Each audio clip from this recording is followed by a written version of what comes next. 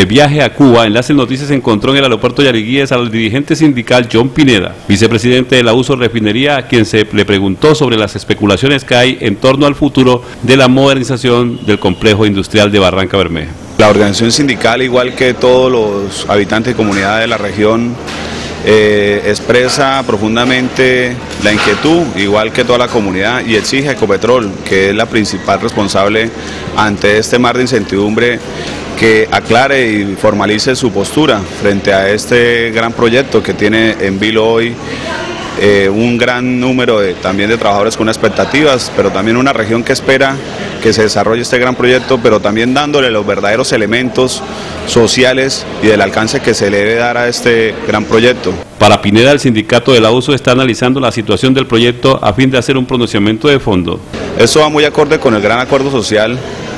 y la organización sindical ha sido muy enfático en que se le dé la verdadera cara y la verdadera intención y que se le despoje un poco la expectativa empresarial y capitalista que tiene este, este gran esquema de gran acuerdo social. La organización sindical se suma a todas las organizaciones sociales para sentar su postura de que debe ser una reivindicación netamente social,